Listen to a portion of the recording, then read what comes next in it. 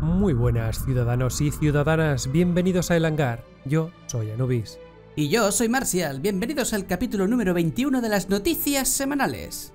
Vamos a empezar a hablar de las nuevas armas que encontraremos en la 3.6, una pistola de la marca Bering y una SMG de Klaus Wegner.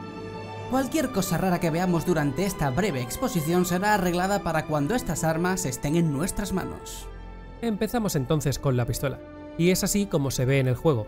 En principio estaría más en un punto intermedio entre la típica pistola que hemos tenido siempre desde el día 1 y el reciente revólver Koda. Implica que tiene una cadencia de fuego bastante más rápida que la Koda, es decir, ya sabéis, la Koda es ese revólver pesado que dispara muy lento y hace mucho daño, bueno, pues esta dispara algo más rápido, em, pero también tiene algo más potencia de fuego, esa este arma nueva, que la pistola estándar de toda la vida. Además de esto, una de sus características es que es bastante fiable a distancias medias, largas y por supuesto cortas. Eh, podemos ver cómo no se desvía demasiado, incluso con distancias de hasta 50 metros. Ahora vamos a ver el nuevo Lumen 5 de Klaus Wegner, el cual es de tipo láser. Podemos observar que aún tiene cosas del estilo de la marca, pero aún así sigue siendo diferente al resto.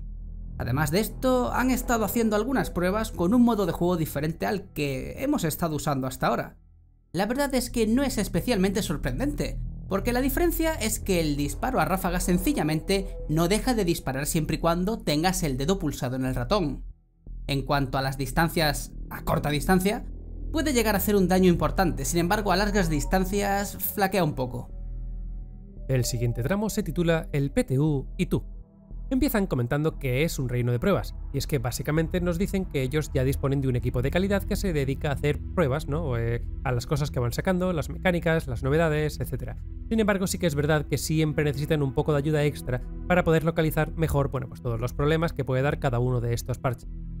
De ahí pasaría al reino de pruebas para que los jugadores que deseen voluntariamente echar una mano, pues puedan participar en el proceso.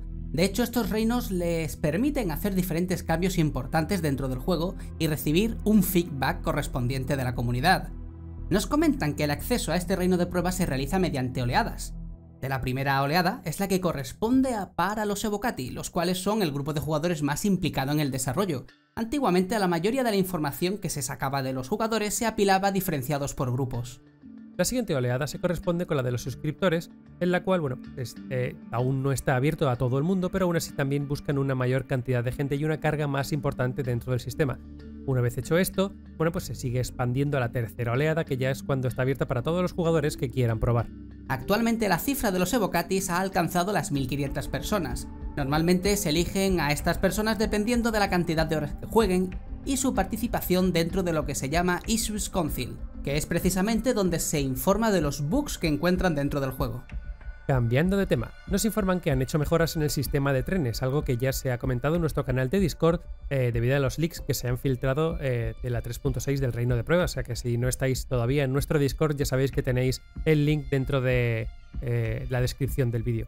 Bueno, la cuestión es que estas mejoras consisten en la creación de un sistema cerrado de raíles en el cual siempre hay trenes circulando y una pequeña IA se encarga de añadir más o menos trenes, no dependiendo de la necesidad. De esta manera ahorramos tiempo y será el diseño en general mejor. En cuanto al sistema de daños, han hecho alguna mejora, pero es algo sencillo. Hasta ahora cuando disparabas y destruías una pieza de una nave, el daño de esa pieza sencillamente desaparece y no queda reflejado. Y con esta pequeña actualización, cualquier cosa que le hagamos a esa pieza también será visible una vez que ésta se separe de la nave o sencillamente sea destruida. El equipo de efectos especiales por fin muestra su trabajo de los repetidores de neutrones. Algo interesante de estos repetidores es que el color de la parte de atrás, bueno, pues va cambiando dependiendo de la cantidad de calor que vaya generando, lo cual, bueno, pues es interesante. Además, eh, este clip que vamos a ver ahora muestra un avance pequeño, sencillo, pero muy vistoso y a la larga, bueno, pues clave.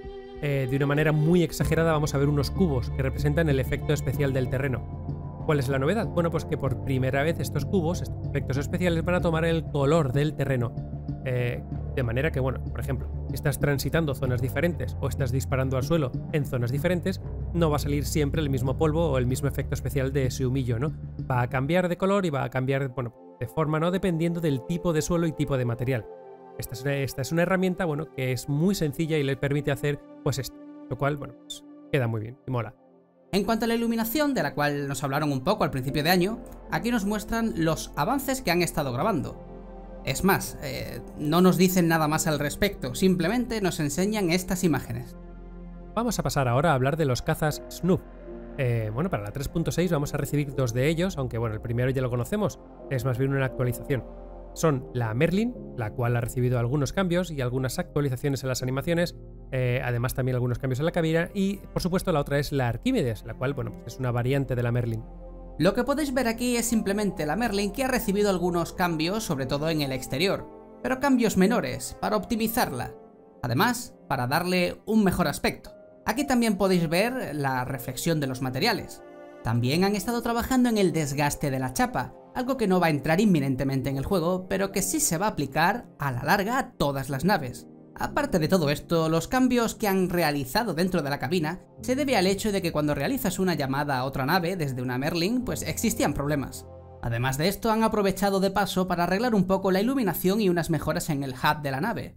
Y también se han añadido algunas iluminaciones a la parte delantera de la nave, sobre todo a su arma. Pasamos ahora a ver la Arquímedes.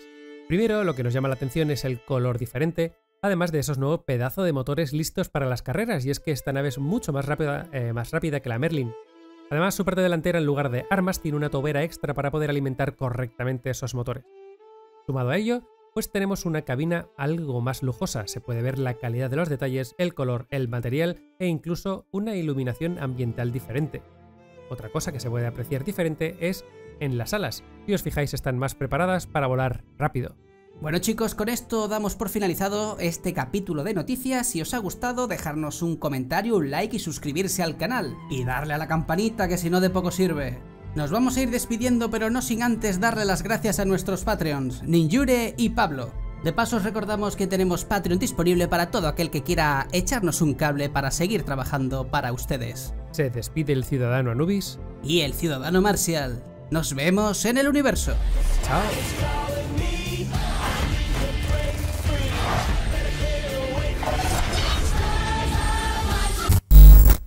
Hey chicos, ¿qué tal? ¿Y veis mi nombre? James Vicious, ¿sabéis que me llamo así? Porque vicio mucho. Más que estos de aquí, además cobro el doble. ¿eh? Hola chicos, ¿qué tal? Oye, ¿por qué no dejas de hacer el tonto y curras un poco? ¿Qué curre dice, tío? ¡Qué gracia! Aún... Bueno, ha sido broma. Eso que ha dicho ese trabajador es broma, esto es una empresa muy seria, aquí nadie hace nada. Que no sea trabajar para el proyecto, además, todo el mundo tiene plena dedicación y aquel que no lo haga será expulsado de inmediato. Pasadme una birra, porfa. Hey, lo que os he dicho antes de mi apellido no es broma. Vicio a lo que me da la gana en la oficina. Puedo llegar a viciar al League of Legends, al Overwatch, incluso al FIFA y al Hello Kitty, todo menos trabajar. Así de claro.